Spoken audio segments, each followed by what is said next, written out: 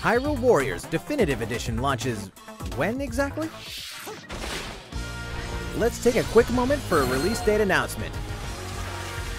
The heroes and villains of the Legend of Zelda series are about to spring into action once more this spring.